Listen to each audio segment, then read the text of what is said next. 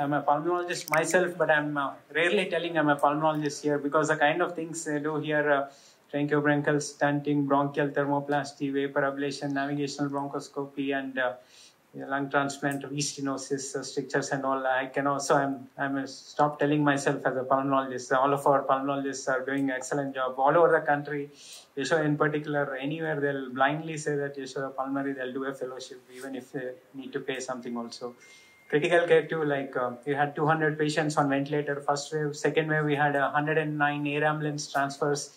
We did 35 lung transplants first time when we started. Liver too, we are doing 15 to 20 transplants. Uh, but uh, in general, things I'm pleasantly surprised. By the time uh, when I went to US 2009, uh, it's a liver transplant done somewhere in the US, that kind of thing. But uh, coming back now, we are doing 15 to 20 liver transplants every month and uh, 25 ECMOs simultaneously we could run in, during this uh, second wave also simultaneously. And all these things, average hospital in US is also not doing so we are doing uh, good things. Uh, critical care too, we have a Venkat Kola and all. We have a webinar uh, attended pan India now every Tuesday evening. it's going on with all the Randeep Guleria, all the leading uh, luminaries from the pan India also participating. So on stage too, Suresh and all, if you can take this further forward to we have all the leading luminaries here. We'll not only do these physical conferences, any other kind of help we need from Yashoda management side, we'll always be willing to support. And uh, thank you. So I think uh, enough of your time. Happy Doctor's Day. At least one day we have to relax. You can do whatever today. Yeah, you can see that how the arm is uh, uh rotated like that because the patient is having a fracture shaft of the humerus. 99.9% most of the pediatric injuries unless otherwise they are indicated. They are conservative by conservative, they are treated by conservative management. You may see as a parents, they get disheartened to look at the fracture because fracture is a day-to-day affair to us as a doctors. For them, it is related with more of emotion. Even the smallest fracture will really upset them or really bother them. But if you see a fracture, how the physiology of the fracture, how it is going to heal over a period, if you take a series of x-rays, even without doing anything except giving a small splint.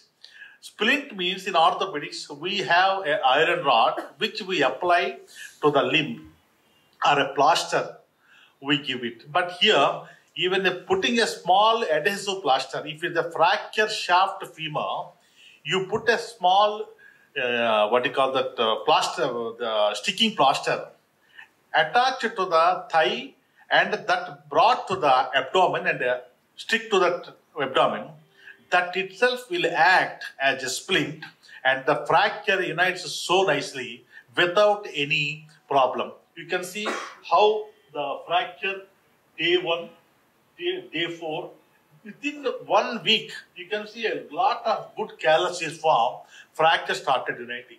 And at the end of two weeks, the fracture united like this. Just before coming to this, I was discussing with my, my colleague, another associate consultant of mine. Why, though there is a overriding of the fracture, here you can see almost two centimeters of overriding is there. If it is seen in adults, you will definitely, at the end of the fracture healing, you see the limb length discrepancy because there will be shortening of the limb. Whereas in children, luckily, the periosteum is more thicker than the bone per se. And because of hyperemia, there is a more callus and there will be no uh, limb length discrepancy. You can see that how the fracture was and how it healed. You can't even recognize that there was a fracture six months back unless that radiologist is too good. Is uh, the next fracture is the clavicle fracture. You can see that. You can see the clavicle. It's the most frequently bone injury, unpredictable, unavoidable complication of the normal birth, present with pseudoparalysis late with swelling. Many a time, the patient comes and at, uh, parents bring the patient, doctor, my child is not moving the limb. Is it a paralysis? I'm sure 90% of the doctors, when they see, it looks the child doesn't move the limb even for one uh, centimeter. At first glance, we think it is a paralysis. Unless we thoroughly examine the patient, look at the clavicle site, see there is a crepitus, there is a swelling. Patient winces when you touch the fracture site. Many a time we miss. He said that okay, I think patient is having some paralysis or maybe Erb's palsy. You please take it to neurologist or neurosurgeon. But after five days, patient starts moving the limb without anything. And especially children, once the fracture gets stabilized by a calc- uh, this um, bone callus formation, the pain disappears. Patient moves the hand, and uh, without any uh, pain, they will move. And uh, you think patient has recovered from the nerve injury. But if you carefully examine, there was a fracture which most of us miss it. And when there is a fracture, always there will be a crepitus. Patient will cry with you know um, pain when you touch it. There will be an abnormality in the sense of there will be a projection of the bone fracturants. When it is like this, there is no problem. You can see the normal skin. But when there is a fracture, the fracturants try to you know poke the skin or they are in a different position. There will be some angulation or one fracture segment is uh, more low, the other fracture is more up, so that you can see the skin is popping up, or sometimes you may see some uh, inflammation changes around the fracture. And especially when there is a fracture clavicle, patient will have a sternocleidomastoid spasm. Patient will not try, you know, he will hold the neck very rigid. And again, this is a fracture, a very common fracture. What we see in the children is a fracture in the supracondylar area. You can't appreciate. Patient will cry. You can see the small fracture. You can see the small fracture. First X-ray, you may miss it. Not you. Most of the people miss it. But when you touch it, patient will cry, and there will be patient will be reluctant to move the when you try to move the elbow also patient will have the pain. And if you take an x-ray you don't appreciate. But i always advise you should take a second x-ray at the end of one week. Especially in the old people if you take an x-ray which the fracture is not in the day one if you take an x-ray at the end of three weeks or four weeks you can see a callus formation what we call hairline fractures. We, many a time we miss it unless we are very good in uh, radiology especially in children, if you take an X-ray at the end of one week, you can see a signs of uh, the callus formation. This is the fracture. Or sometimes you may have some epiphyseal injuries as well, which are very, very dangerous. Supracondylar fractures will, unless it is treated properly, either by conservative management or pinning, they will have a deformity in the elbow joint, you know, the cubitus valgus and cubitus varus deformity. And if it's an epiphyseal injury, if there is a problem, the patient will have a stunted growth because the growth plate is injured and patient will have uh, difference of growth uh, between the a normal part and abnormal part, patient will have a deformity at the end of one year or two years. So, identifying an epiphyseal injury is very, very crucial. Otherwise, the patient will have problem. And sometimes you don't need to do anything if it's a green stick fracture. That is, uh, you know, green stick fracture is is a, a, a soft, uh, you know, like that. If you have a, a bone, if it's brittle, if you break, you'll see the crack. Whereas in um, children, many a time you don't see a classical fracture, but you can see a buckling because you have a thick periosteum. You don't see, you don't appreciate the fracture, but you can see that there is a mild bend, and you can see the fracture. That kind of patients can be treated with a small splint like that. They are available in the market, any medical shop. You just give them, wrap them. Because you have given the splint, the patient will be comfortable. After three days, four days, you can see babies happily playing. And I told you, it's another fracture. fracture femur. Initially, I was telling when there is a fracture, you don't have to do any special splint or something like that. Whatever the available sticking plaster that is available, you wrap around the thigh and stick to the abdomen.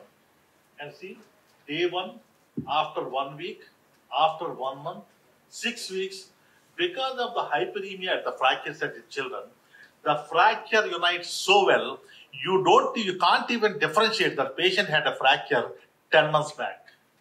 And sometimes, if the fracture is, uh, know patients are very concerned. Some people think that, why doctor, you are putting only strapping, we are worried fracture may unite or not.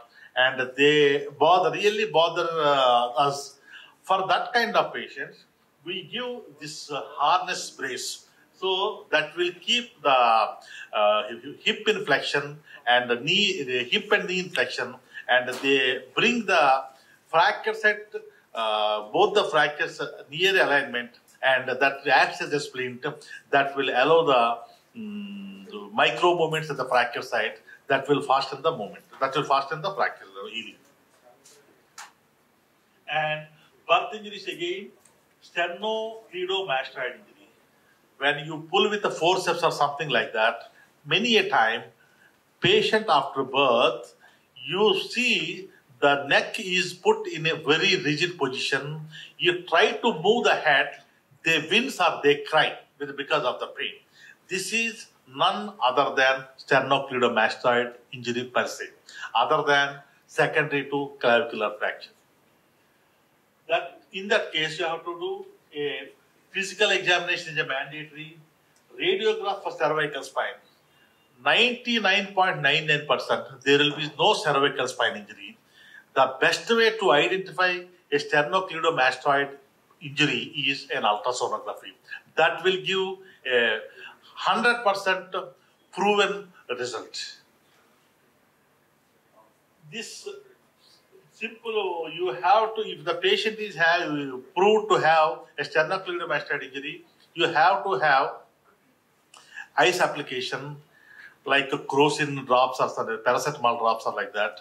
After one week or two weeks, once the inflammation comes down, you start stretching the neck.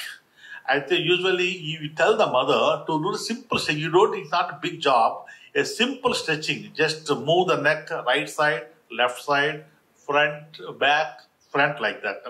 That will settle and that will uh, not allow the muscle to contract and they will not have a torticollis or something like that. By chance, if the parents are not that educated, they are afraid of doing this uh, stretching exercises, the patient may land in a problem known as torticollis. For that, you may need a small surgery called, uh, you know, release of the soft tissue at the end of two years. And this is quite interesting. I don't call it, it is uh, OBPI. I will tell you. We call it as newborn, uh, this plexus, uh, the, the neuro, nerve, nerve injury, neonatal brachial plexus injury. Especially, it is quite common to see when the baby is delivered by forceps. Sometimes even a normal delivery, when you pull the fetal head like that with the uh, more uh, you know violently, they may have the brachial plexus injury. The magnitude of the problem is 1.5 to 3 percent of out of thousand vaginal deliveries. Incident is not changed despite the increase the rate of the cesarean uh, sections. We don't know why. Is it because the fetus is not handled properly while doing the cesarean section? We don't know. But the incidence rate is 1.5 to 3 percent per uh, three cases out of thousand uh, deliveries.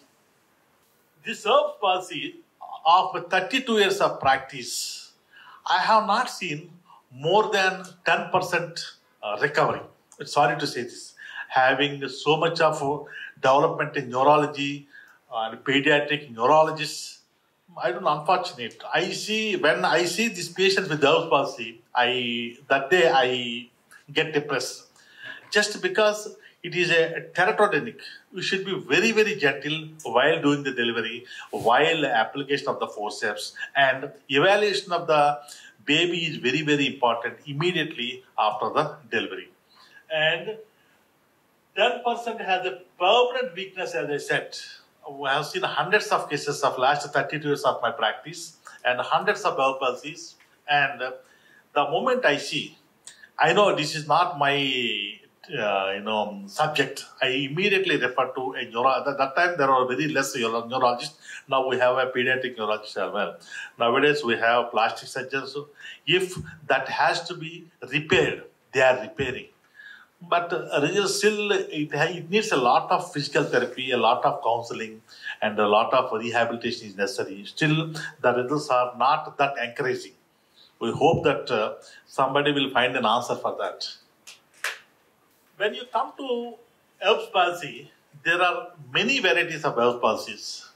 A simple Erb's palsy, which is a transient, like uh, I graded according to the root level. C5, C6, there will be no elbow flexion. C5, C7, no elbow flexion and no extension. C5 to T1, no elbow flexion, no extension, and a poor hand function. We always call it as uh, policeman hands or bar tips. You know, bartenders, uh, server, what do they call it? They put your hand for the tip. That's the tip. Usually, you call it as a policeman hand. So it is very popular. And the next fourth category is C5 to T1, where you have a almost nil upper limb function plus a Horner syndrome. This is just a um, pictorial presentation. I just did it like that. From C5 to T1, you can see the nerve palsy, hand, wrist, and functional. 90% of the people, if it is a must to have a palsy, I wish to have this. Because in this 90% spontaneous recovery is there. When you have up to C5 to C7, the wrist and the distal extension, this is a weighted strip. The prognosis is very, very poor. And the flail limb, that's a poorer diagnosis. When you involve all the things, you have the flail limb, just the limb moves like this. And uh, uh, for you to understand a very easy way, especially if the postgraduates are there, of course, not that uh, they don't know, it's a neuropraxia, a small stretch of the nerve or root. The recovery is in six weeks, 90%. If this is an axonal disease, you can see the recovery will be around six to nine months. When it's a neurotmesis which is incomplete, the recovery also incomplete, and 90% will be there, the recovery. But when you have a root avulsion, the result is no recovery. I told you how a Horner syndrome looks like. You can see the one side, the pupil is completely dilated, the other side is uh, pupil is constricted. And you can see the how the baby, though she is cheerful, how the limb is uh, hold, uh, held like that.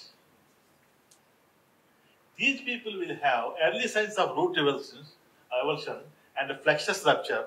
One is the sympathetic chain uh, affected, that is Horner syndrome. Some people will have the diaphragm, half of the diaphragm is paralyzed, and uh, the scapula is, uh, you know, flail, that wings. The people come with the high riding scapula, it's a winging scapula. The indications for uh, nerve surgery, of course, I am not authority. Just for completion's sake, uh, I just put it like that. I think Dr. Shishkant is the right person uh, to talk about that. The variable depending on the center, surgeon, and family. Some people, but any cause they want to get it done.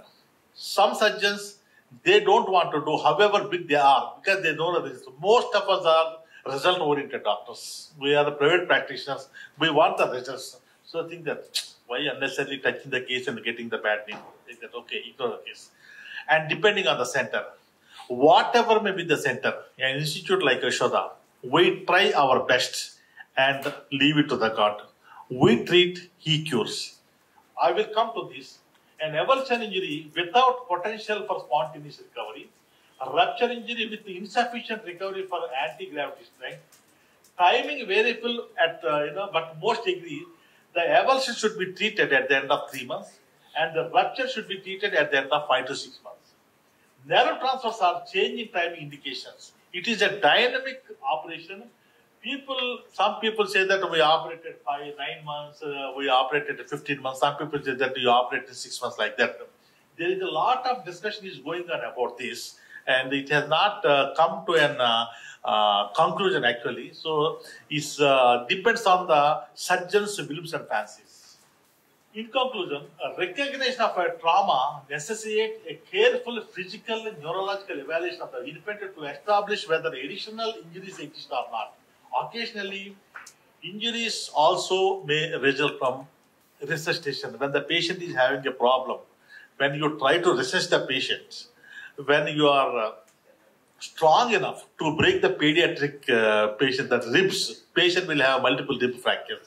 Patient will uh, worsen just because of the injuries while we try to save the patient. And one more thing uh, which uh, I did not include was pulled elbow. Many a time, the children, parents or uh, relatives, what happens? They try to pull the child like that with the, um, you know, extended hand like that. What happened? The radial head, which is there in the annular ligament of the this one in the elbow joint, that gets ruptured or dislocated patient will cry, cry, cry. We don't understand why the patient, because we are sure that patient had not fallen, patient did not hurt himself, no fever, and uh, he said that he just cry. You ask him to move the hand, he doesn't move.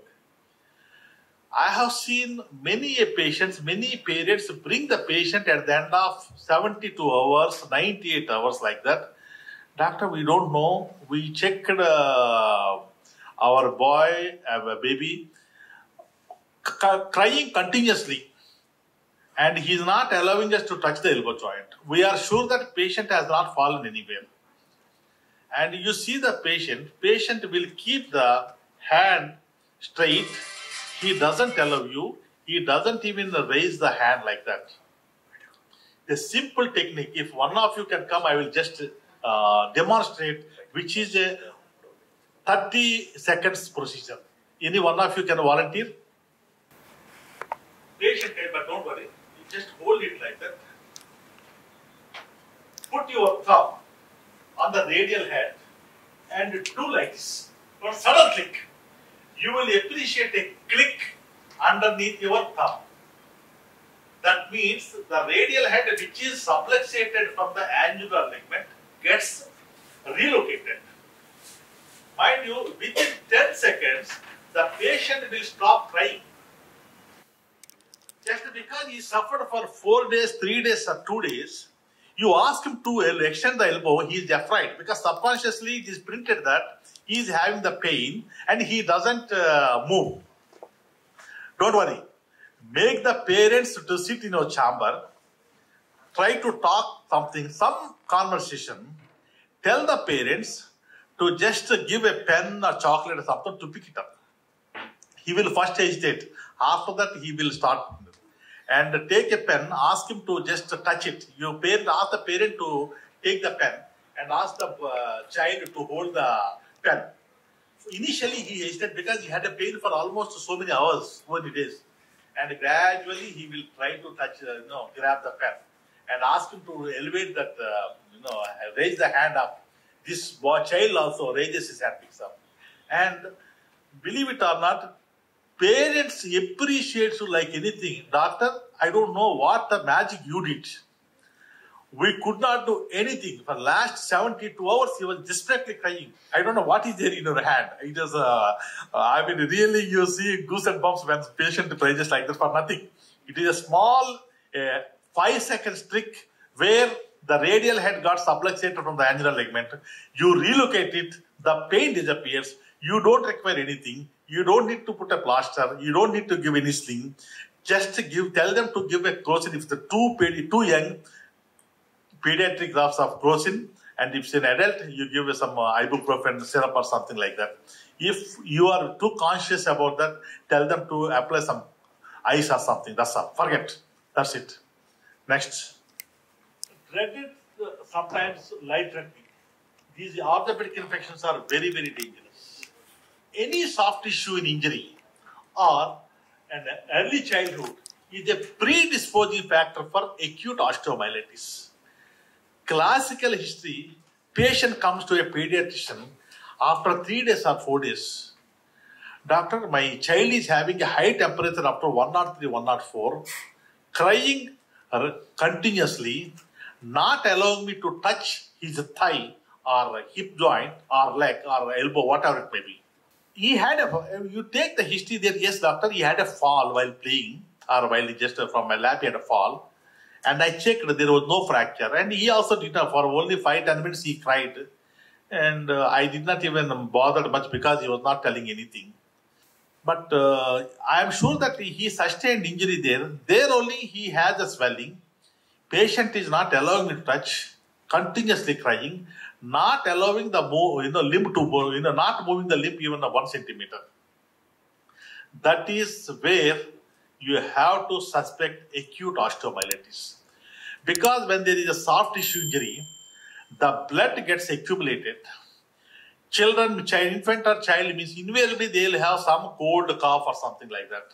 This blood, where it got accumulated near the injury, that attracts, it acts like a nidus, it attracts the bacteria from the uh, infection site like ear or throat or somewhere like that, or sinus, that go through the bloodstream and sit there, it multiplies and it converts as acute osteomyelitis. Sometimes if you miss the osteomyelitis, acute osteomyelitis, it will be a chronic, it will be converted as a chronic osteomyelitis. Sometimes if the patient is debilitating or immunologically poor, we may lose the patient. Of course, nowadays we are not seeing that many cases. When I was a postgraduate way back in the early, late 90s, late 80s, we used to have so many osteomyelitis cases. The classical history, and that the postgraduate study where I did was a uh, very poor area, so that we used to have a lot of osteomyelitis cases because of that poor, poor, you know, uh, hygienic and all if you take them to theater open, I used to get at least 100 ml of frank pus. By the time the pus, the infection invades the periosteum and uh, there will be periosteal reaction. If this is not properly cleaned, washed, and a proper antibiotic are not given, the osteomyelitis cases have turned into chronic osteomyelitis. Injury To the hip joint, injury to the knee joint, which are very common, patient develop, initially they will have an hemarthrosis because of infection elsewhere in the body that will convert as a septic arthritis, which is again a dreaded complication in anybody's orthopedic uh, practice. Once the septic arthritis is established, you can take it for granted this patient will have a um, defect, uh, affected joint forever once the pus is in the joint for more than six hours, it will invade the synovium, uh, what you call cartilage, it will damage permanently. Initially, it may look normal to you, but you will see the erosion of the cartilage after a few months. Patient will come limping. Doctor, I had septic arthritis. My boy had a septic arthritis. This got drained, but the patient still limping if you take an X-ray, if you are a good radi- you have a good radiology background, you will appreciate the narrowing of the joint space or moth-eaten appearance of the um, ends of the femur or tibia. If you don't uh, appreciate that uh, damage, better go for an ultrasound or go for an MRI. You can see uh, damage the cartilage is a knee joint, it's only a pain or a mild deformity. Whereas if it happens in the hip joint, the infection will eat away the head within days time and patient will have a pathological subluxation or dislocation of the hip joint and patient will become permanently handicapped. So please if you suspect an osteomyelitis or a septic arthritis, straight away start the antibiotic, refer to a surgeon who will take care of, who will drain out the pus and save the baby's leg. The take home message is patient education about the fall and uh, don't neglect the fall. See, is there any contusion or is there any fever? Is there any pain like that? And evaluation of the patient when they come to the outpatient department of a pediatric or orthopedics. That is the key to avoid all the above said complications. This uh, one slide I got it late. The dysplastic uh, hip. You can see we are seeing only tip of the iceberg. Only these things we are seeing. More than 90% of cases we are not seeing them because they are not complaining unless the parents are smart enough. And uh, we see when the patient is adolescent, doctor, I don't know why, my son is limping. Uh, they say, no, doctor, I see my son's or daughter's one limb is little short. The family incidence of this uh, DDH or CDH, if the patient is having, one sibling is having, out of seven, one will have, a, another sibling also will have this problem, out of seven siblings. Sorry.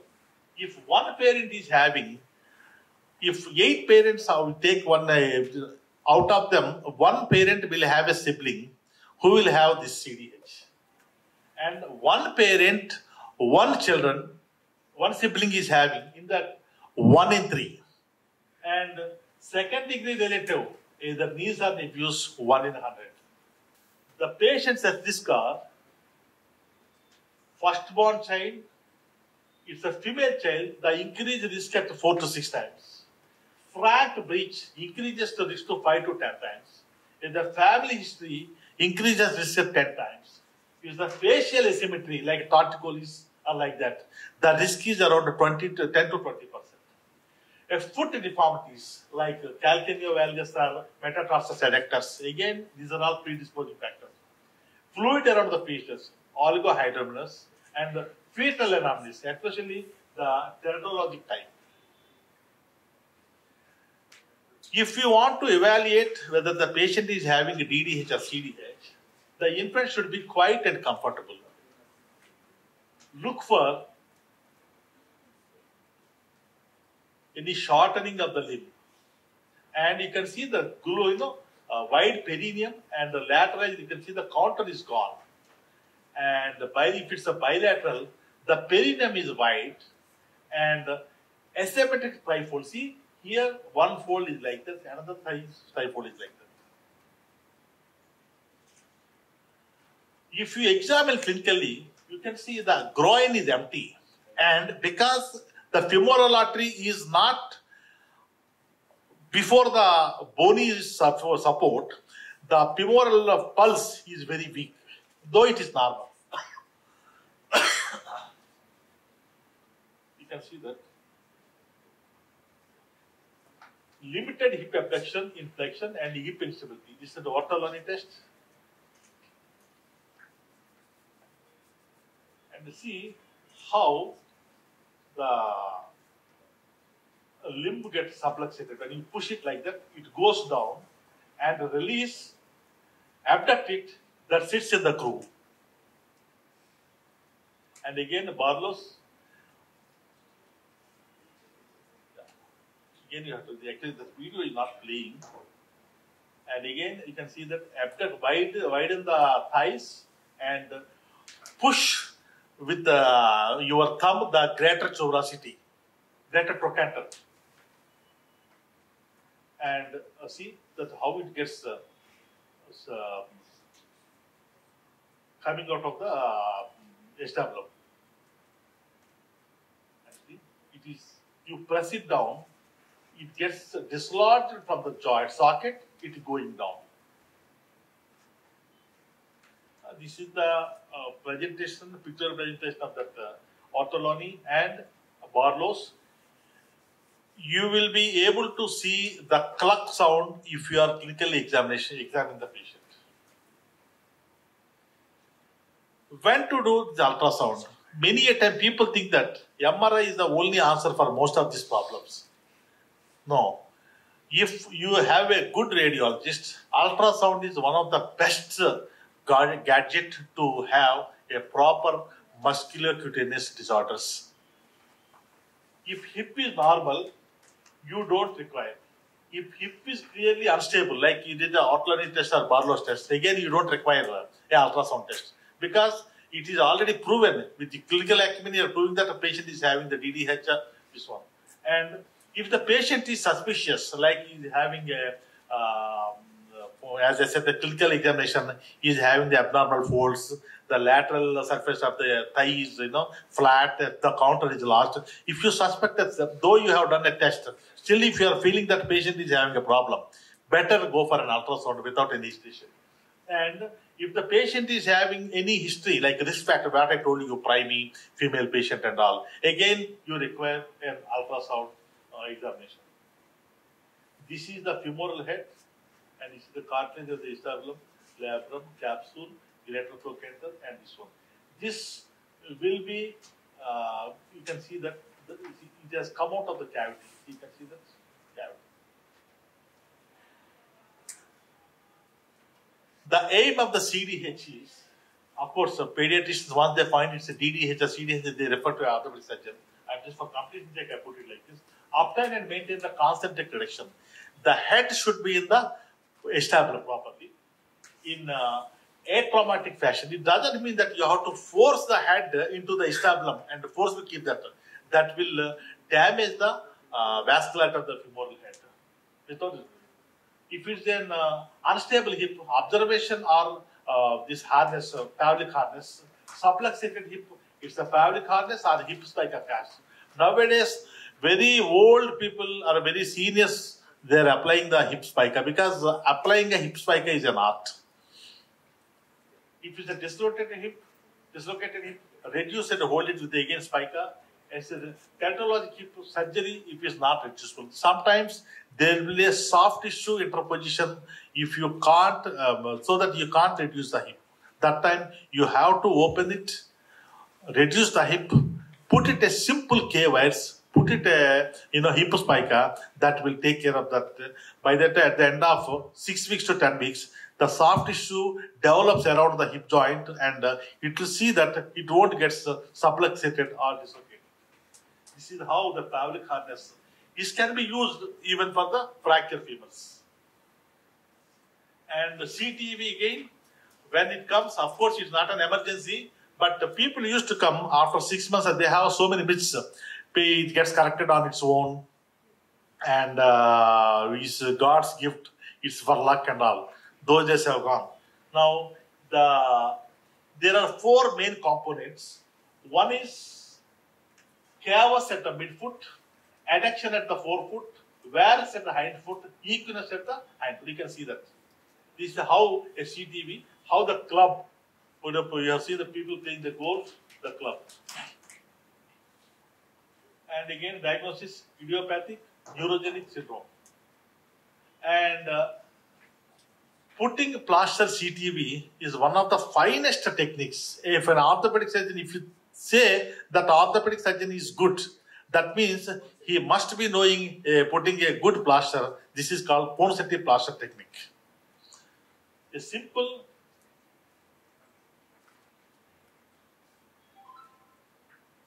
stage one, we put like that.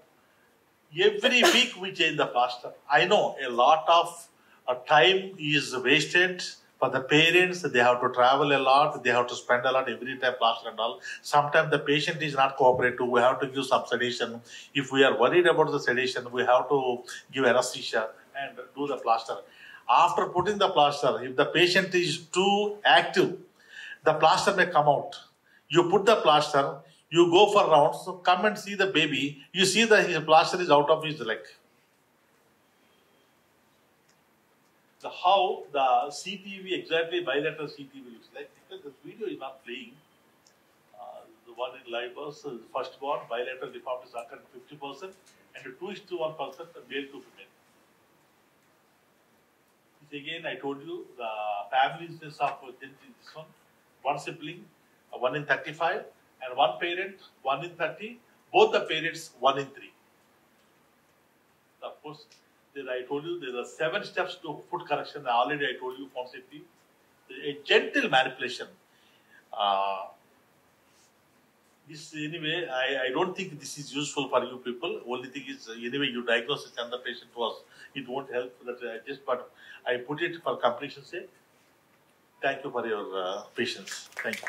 Most commonly, small, small cuts where we don't know whether to do a uh, staple, which is, I don't say staple, because uh, as a plastic surgeons, uh, we generally don't use staples, and that too on uh, kids, it's like uh, using a gunny, what, you know, so, what, what are, uh, purikosa, you know, that, that, using that for a gunny bag, we feel that like that. So, generally we don't use staples. Either you apply glue or sutures.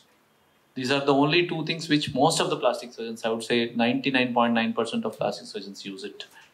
So, so generally most common type of injuries are trauma, what we see in our OPD, like uh, cuts, abrasions, and uh, uh, whatever that is, and also some fingertip injuries, and sometimes fingertip crush. Similarly, and the other most common injuries in OPD emergencies is burns. Most commonly small superficial hot water scalds. That is uh, what we see. And also and as dr uh, dasiram reddy garu uh, spoke soft tissue infection. This is also very important things which we should see in uh, opd basis. We should be able to identify the conditions where uh, negligence or if you neglect it or if you oversee it i would say that's the right uh, word if you oversee it you might uh, that patient might land up in some complications at a later date. So that is where uh, your soft tissue infections and uh, come into the picture. So most of the cuts are like that. Like uh, here, it's a little bit more uh, deeper here, where orbicularis oris uh, oculus muscle is also getting prolapsed out. Uh, similarly, you have burns like this. Predominantly, what you can deal with in your OPD practice is superficial burns and uh, like these and fingertip injuries like this, the fingertip uh, small fingertip avulsions and to some extent sometimes fingertip crush injuries along with avulsion where you the whole skin will be avulsed where it's difficult to uh, replant or uh, difficult to reconstruct. So and soft tissue infections like this with swelling. And sometimes they get as a they will be associated with uh, compartment syndrome. That is where uh, the recognition of the uh, compartment syndrome is important for you to uh, uh, identify so that you can refer to the uh, surgical surgeon so that he can do some fasciotomies and release the pus and so that they won't be able to you know, expand extend to the nearest joint leading to osteomyelitis or chronic infection may cause fibrosis of the local muscles and causes contracture, muscle uh, contractures of the muscles, leading to deformities of the joint at a later age. So that is where uh, your discretion comes into the picture. So how to manage all these things? How to manage all these cuts? So when you see a, a child with a cut, like a forehead cut, I would say here. Uh, if you see here, you get a small chin cut uh, like this, or a small hand cut like this, or sometimes a small uh, uh, cut on the similar cut like as it is, in, is on the chin on the forehead. So you have to imagine what are the structures that are there beneath the skin. So, for example, on the forehead, you have skin beneath it, you have a frontalis muscle as well as the perios bone. So, if the cut is uh, most of the times what happens is in that uh, small small cuts uh, the, uh, the underlying frontalis muscle and the dermis and everything will get cut. So, and uh, the natural tendency of the skin is to contract. So, if you do the dressing and send them, it will contract. But over the period of time, the muscle gets retracted and the wound gets opened, and there will be a collection beneath it which get infected, and it will come out as a pus. So this is uh, so assessing the depth of the wound is very important.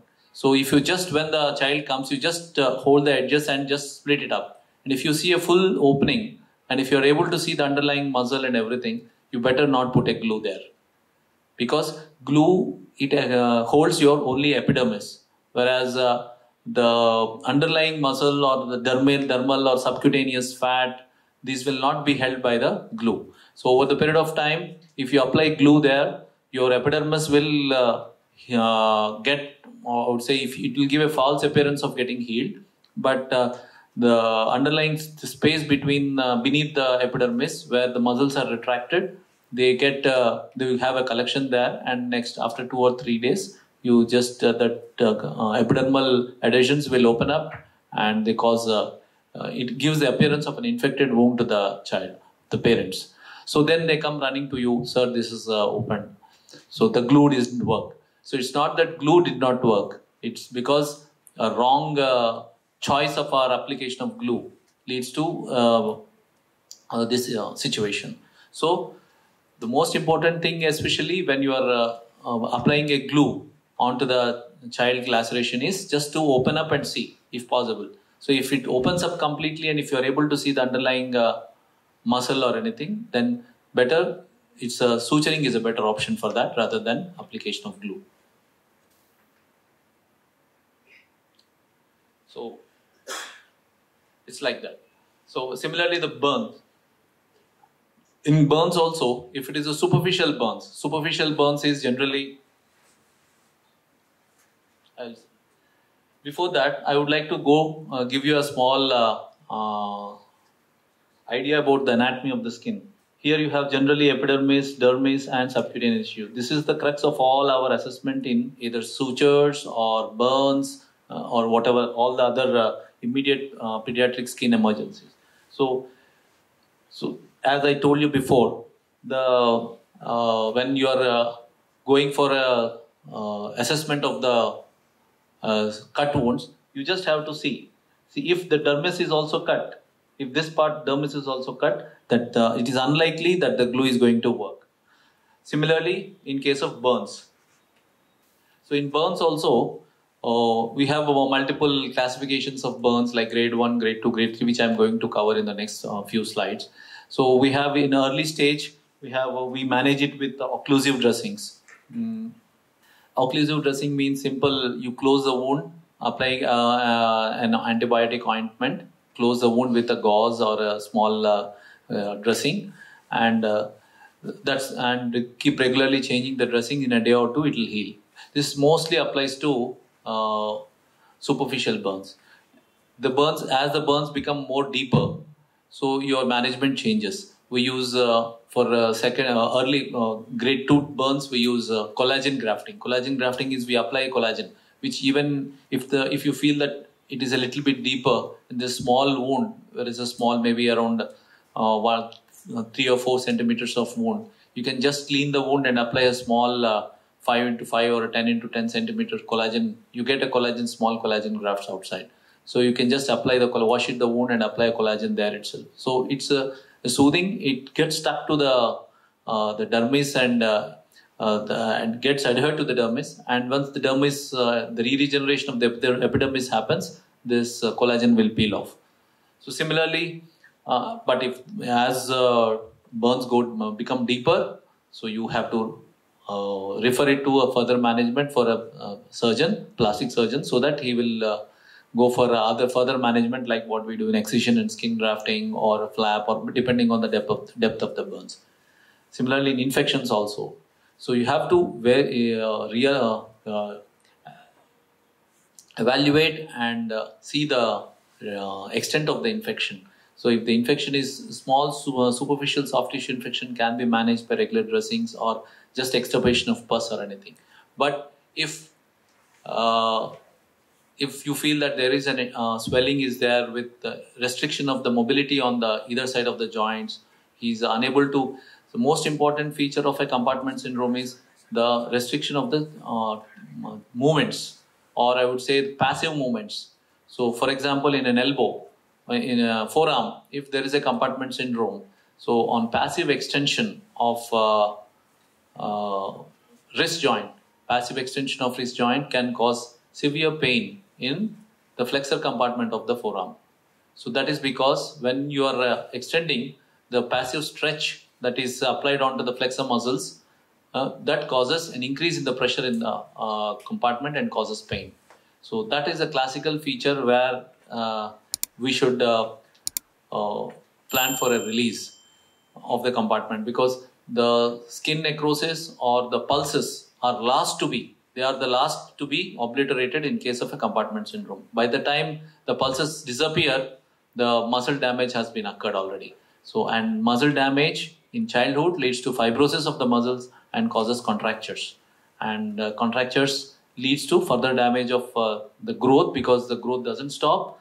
These joints will um, the, when the bone grows they grows in a wrong direction and all the um, uh, uh, the curvatural deformities of the bone happen there.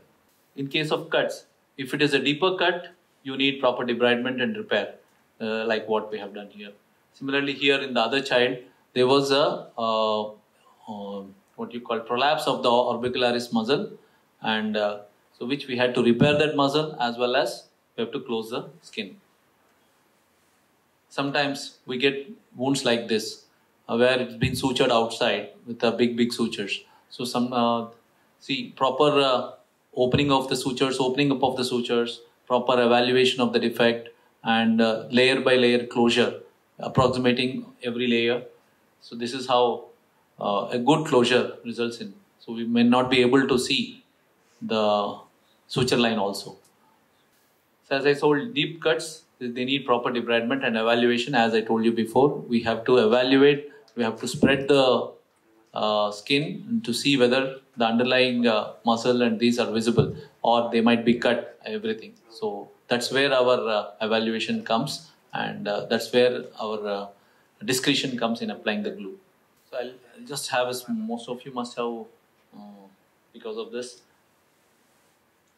So I have a small video that we have taken it from yesterday. It might appear rustic, but that's. Uh, See now we are suturing the skin, subcuticular sutures of the skin. I am going to take bites from either side of the skin, the subcuticular layers like this. I'll take only dermis from here and here. And I'll take the bite from the other side, from the point of exit on this side. So from exit and entry will be at the same level so that the skin won't be skin won't get crumpled because of closures like a bag.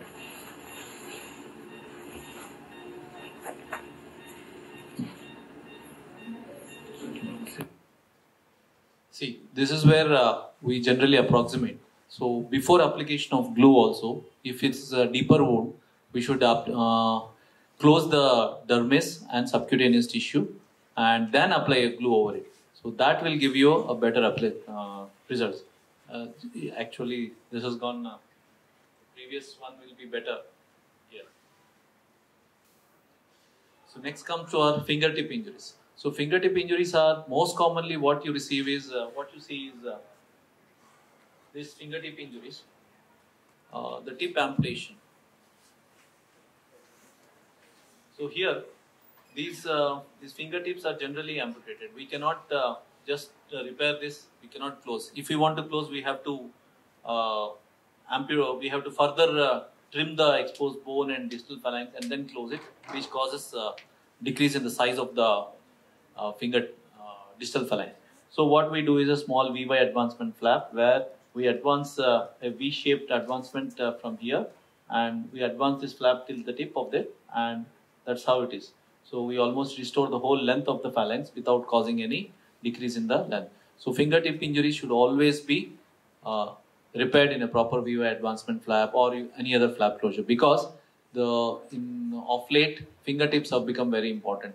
So many of them, many of us, uh, many of the people, children, they grow and become to become software engineers where their application of your uh, uh, computer work and their, the- their tactile sensations and the tactile discrimination and all these things are important.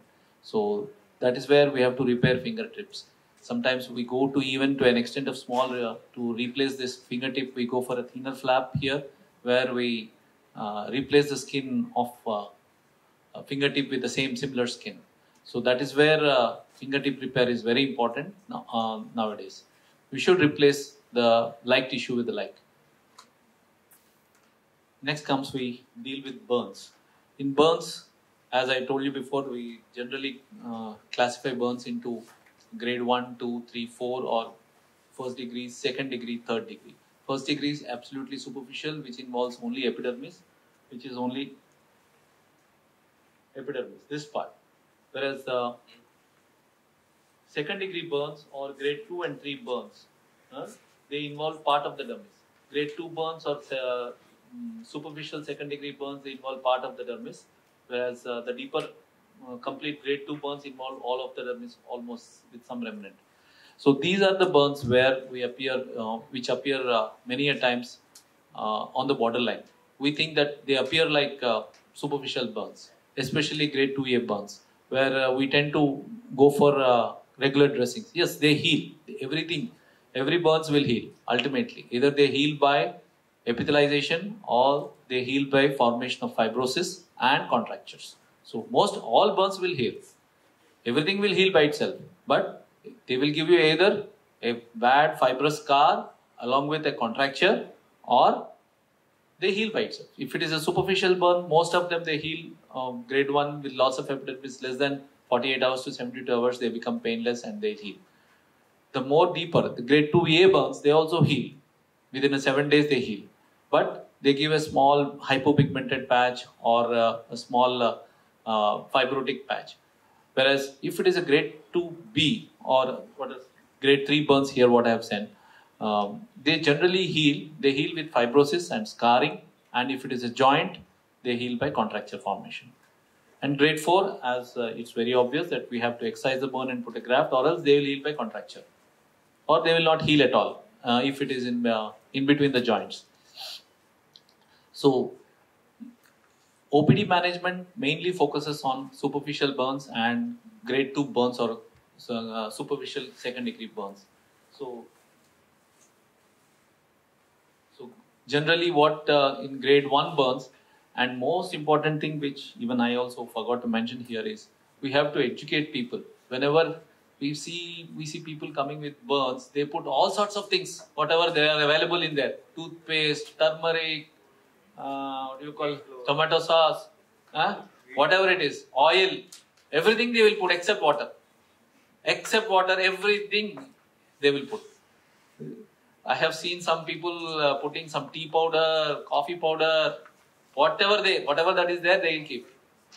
So we have to educate people that if there is a burn, at least pour some water. Immediately put under running water. That is the most important thing that we have to take. It decreases the intensity of the burns to a significantly low level by maybe more than 50% or sometimes even 90% effects of the burns will be uh, avoided. So the more the point time of contact, the more the depth of the burn. So that is how we have to uh, in the OPD management. This is not an OPD management because by the time you see in the OPD, damage is already done. But that is how it is. So in the superficial burns, generally we do dressings. There is no other. We just have to apply some uh, pain uh, soothing ointment. Generally, we I advise a wax-based ointment because they retain the moisture and keep the area wet. Or I don't say wet, but it keeps the area moist, which is helpful for epithelialization. It promotes a moist environment. Always promote epithelialization. And uh, generally, what we uh, use is a small gauze or a, we have a norm many dressings now occlusive dressings where we get like uh, uh, collagen Mepilex or many other Biatain ma- many companies you can just apply them. That will be fine. And coming to the next level this is the most uh, common burns is grade 2 burns. Especially superficial burns they get confused with uh, either superficial or we tend to think it is more superficial but it is more deeper. So that is where we uh, generally advise uh, uh, collagen uh, sheet application That is where because the more the the more uh, the early you close the wound, the early you cover it up, the faster the epithelialization will be. And uh, one thing is, the more uh, uh, secondary healing happens, the more chances of hypertrophic scarring also occur in burns. So if you keep uh, these take maybe two to three weeks if it is superficial grade two burns, they take two to three weeks time or one to three weeks time to heal. So during that period, there is a chance that there will be a secondary infection.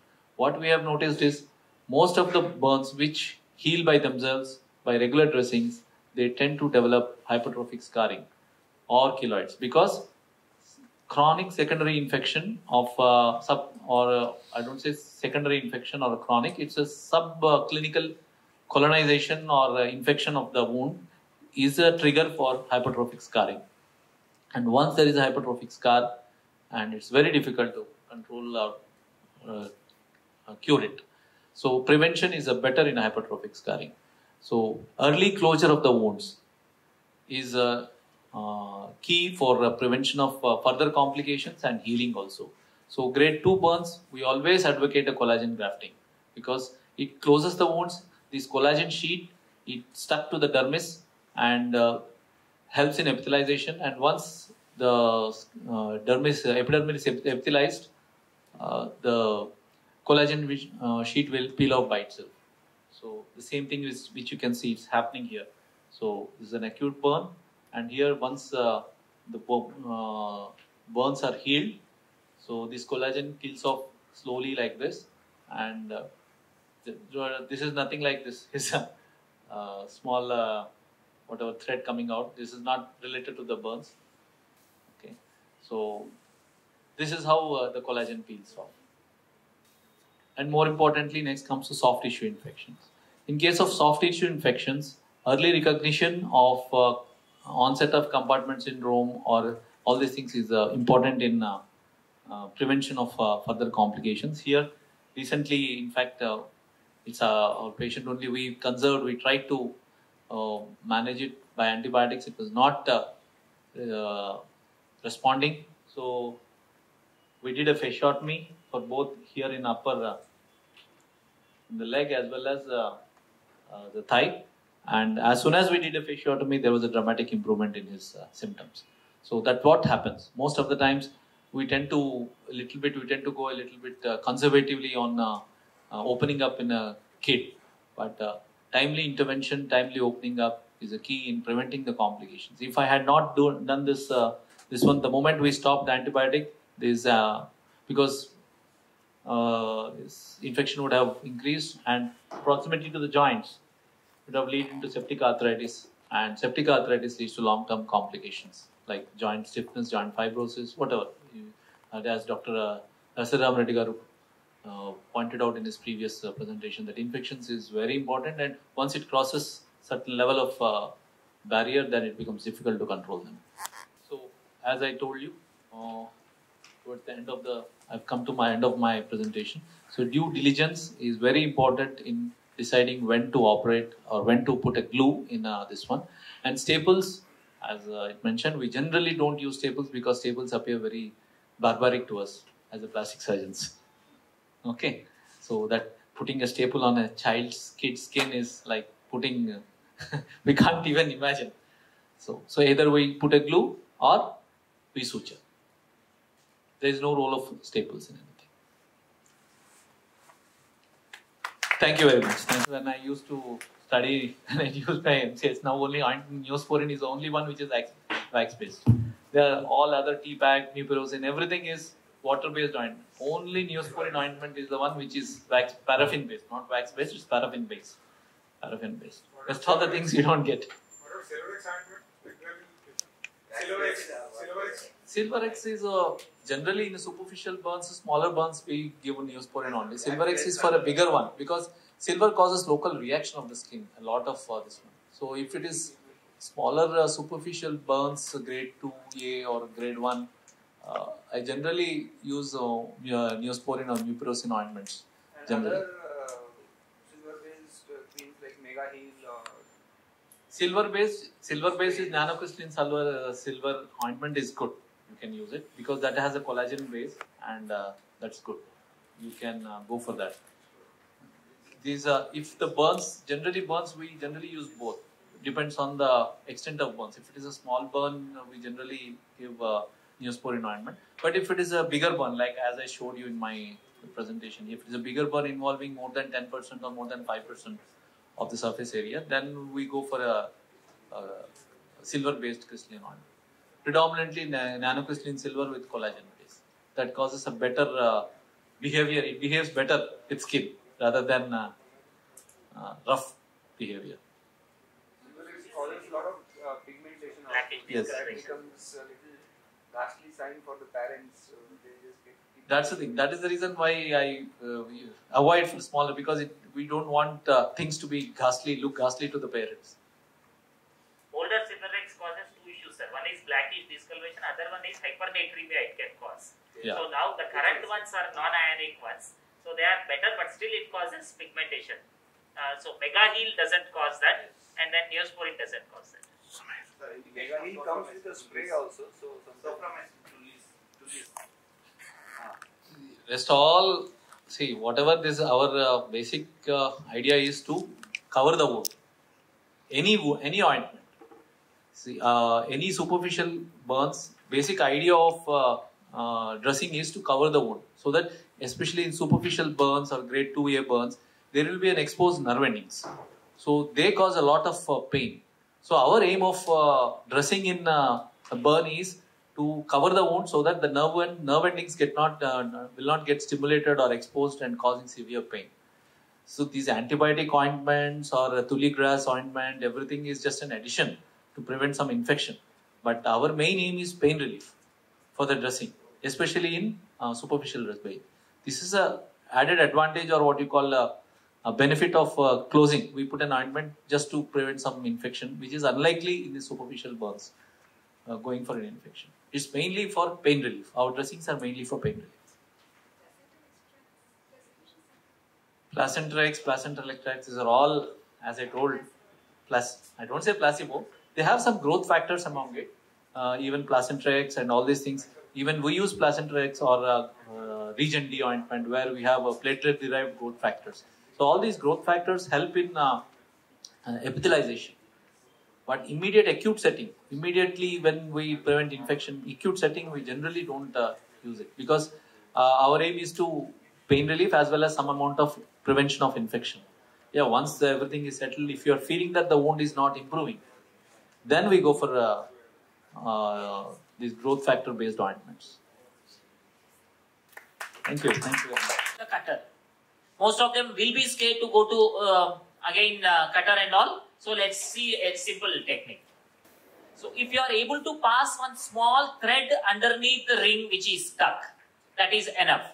Okay. Most of the time we will be able to do. If you are in your OPDs, I'm sure we will have at least one needle, one thread. If not, we can ask the parents to bring it. And if you have a mosquito forceps or a dental floss, use that to thread the ring across that. Okay, underneath the ring, pass it on to the other side. And whatever is there distal to the ring, you start uh, putting like a, a knot. Not knot actually. Continue to uh, rotate, rotate, rotate till you get it to the tip of your finger. Okay? Am I clear? Pass the thread underneath the stuck ring to the proximal side, that is towards this side, and whatever is there, roll. After that, you start pulling out from this side. Okay, it easily comes. You can try on yourself, but ensure it's not very tight. Okay, because if you are stuck, you will curse me. Okay, Uh, so once you do start rolling from the other end, it easily comes out. I'll just tell uh, the theory behind this uh, or the steps, uh, six steps how you need to do. Pass one end using a fine string or a dental floss across, and then you might need some help with a paper clip or something like that. And then with the other end, roll around and then pull it. Okay? If possible, I'll show you a video which I did uh, uh, for one child. I'll see if I can play on this. Okay? Right. Uh, meanwhile, we have uh, our uh, next speaker, uh, Dr. Jaydip Ray Chaudhuri, sir. if they respond well, these two medications, then things are good. If they don't respond, then you're sure that you will be having, uh, the child will go on having recurrent seizures. So how we uh, select uh, the anticonvulsants when a child comes to us with seizure?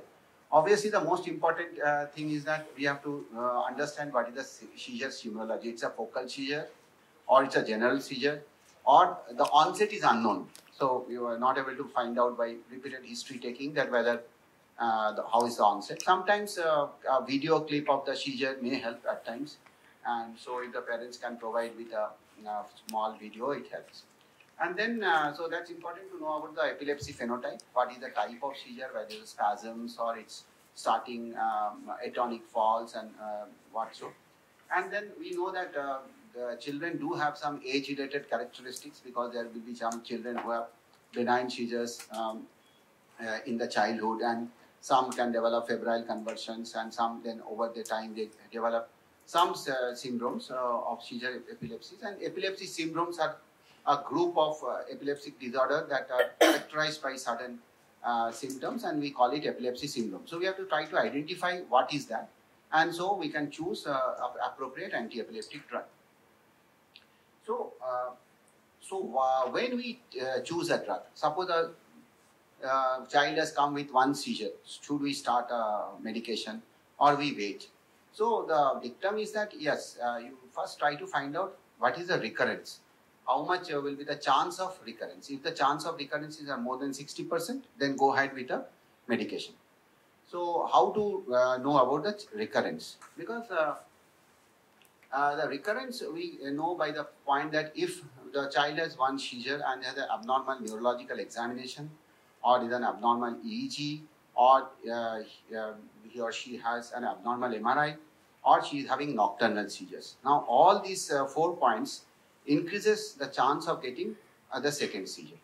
So, if nothing is there like that, child has a seizure, normal MRI, normal EEG, no abnormal problems, it's not a nocturnal seizure, we can wait because it, the chance of recurrence is less. But if any one of these uh, factors are there in that, so the chance of recurrence is more and is more than 60%. And therefore, it, we have to choose an anti-epileptic drug. Now, uh, it is known that if we give an anti-epileptic medication, uh, the, after the first seizure, it delays the second seizure. But it doesn't change the long-term outcome. But it definitely delays the second seizure, that's important.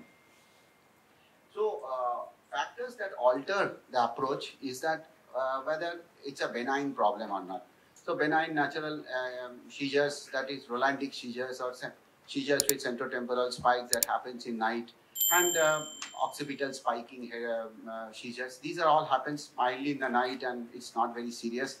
And some parents are not willing to start on anti-epileptic drugs because of this condition. But sometimes uh, some uh, parents are uh, willing to start because they are worried. So uh, we have to take um, the opinion of the parents and our personal choice. But we'll realize that it's a benign condition. It can go over after some time.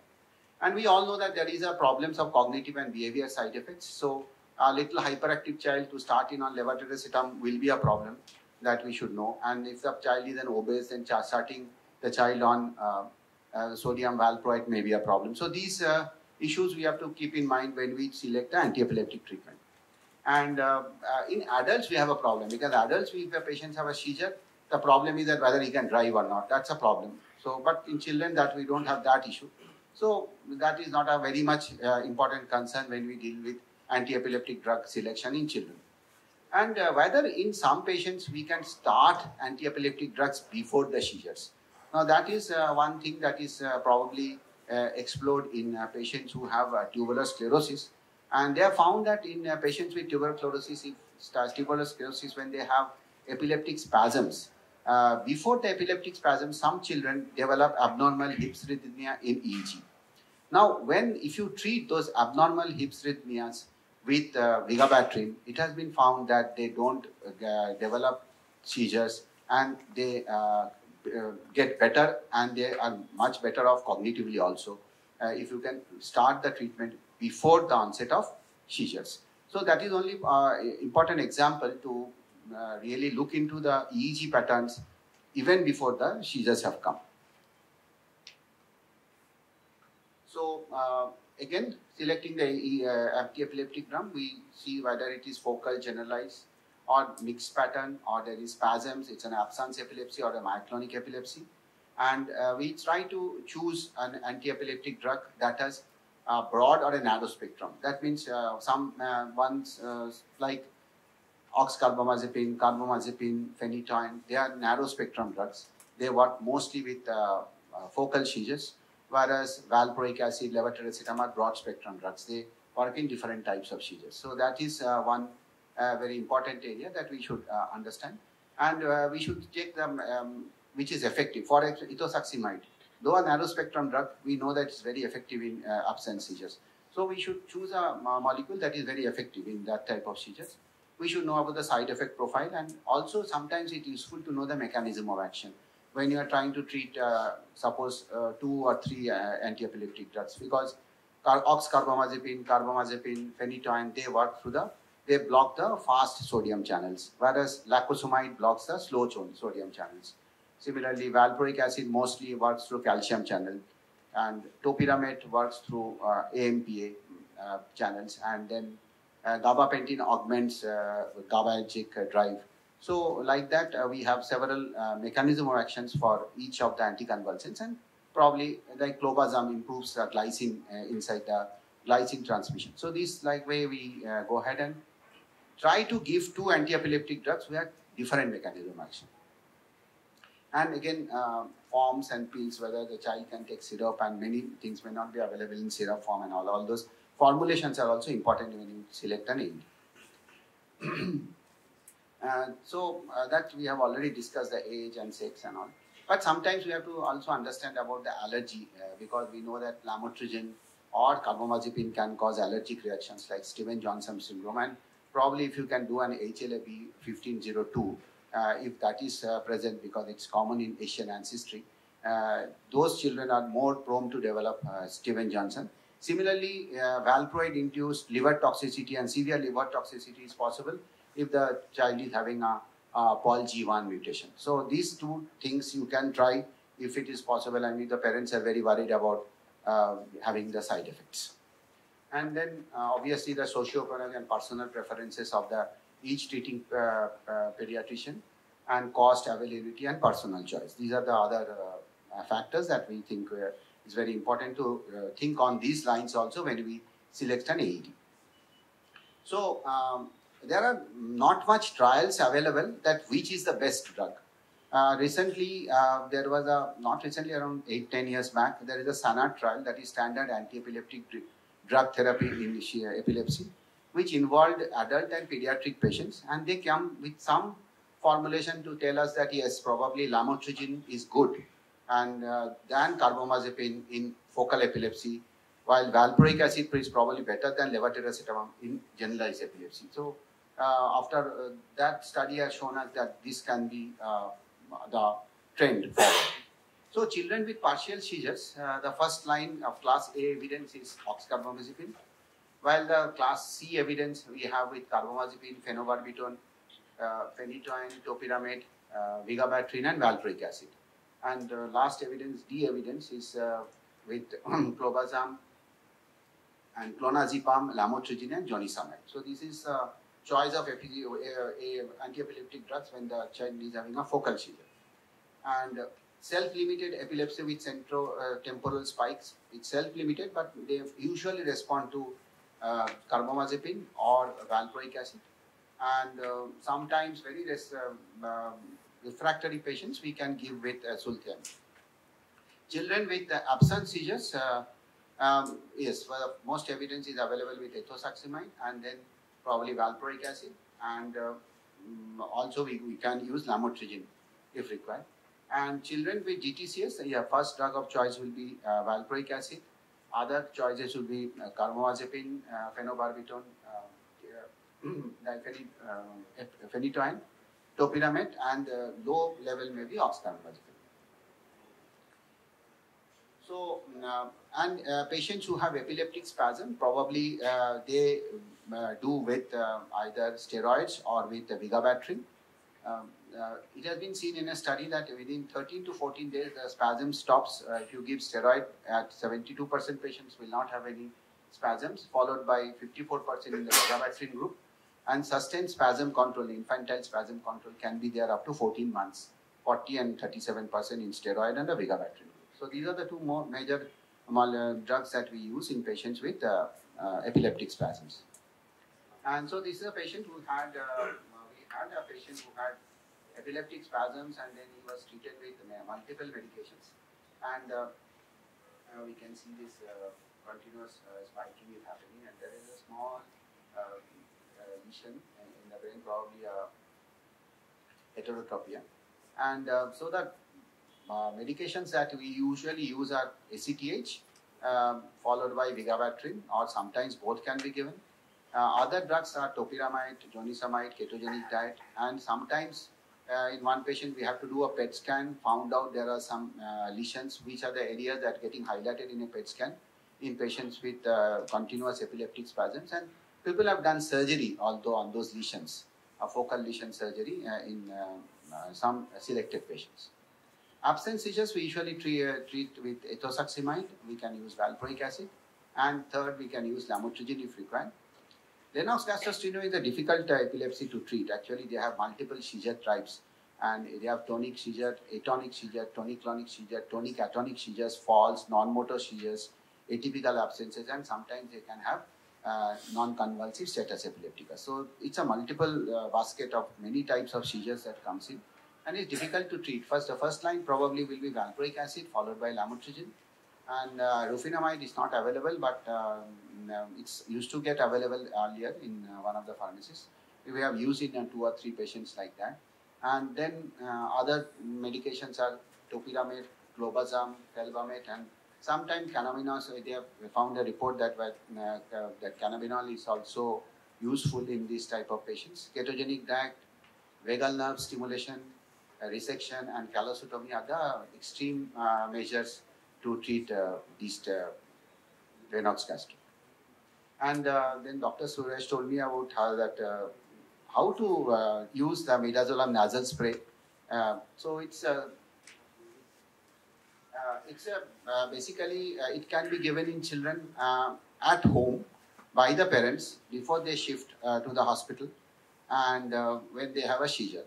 Uh, there have been trials and they found that probably giving IM midazolam is probably better in patients who have febrile convulsion or in, uh, before they shift to the hospital and it's better than uh, giving IV lorazepam uh, because the sedation and all other parts are not so uh, uh, profound with uh, IM midazolam.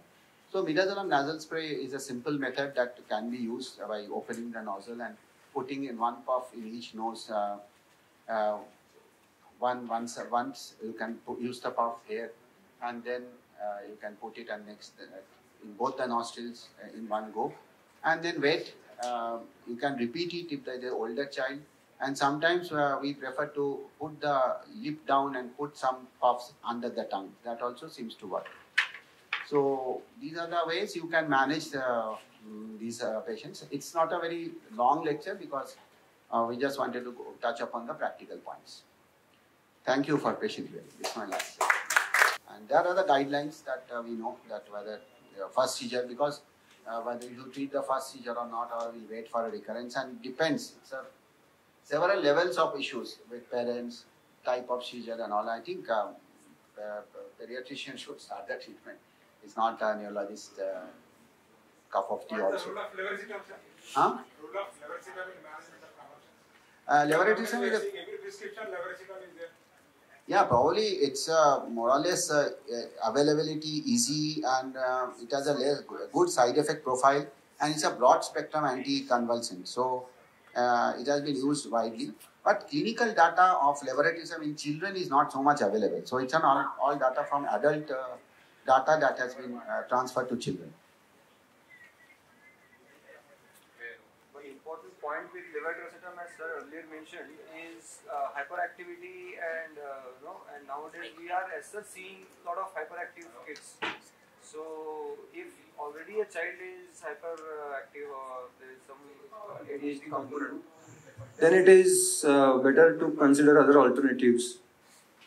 But it is a very good drug in when you are uh, managing status epilepticus child. Because there is no restriction of uh, doing it very slow. You can slow bolus IV infu- uh, push you can give. For Eptoin, Phenobarbitone, we have to wait 20 minutes until that time the child keeps seizing. So it's uh, in that sense, yes, levetiracetam after the initial lorazepam dosages, midazolam, levetiracetam has got a great role. But I think neurologists will be the better people to you know think whether levetiracetam will be good or not in the particular child. I don't know. People tell me. I you don't use. Uh, I mean, all pediatric uh, epilepsies, you must be using the levetiracetam, valproate, or What happens sir, once they come in a status Because then they eventually get levetiracetam, and uh, and on that they get controlled. So then that gets carried on.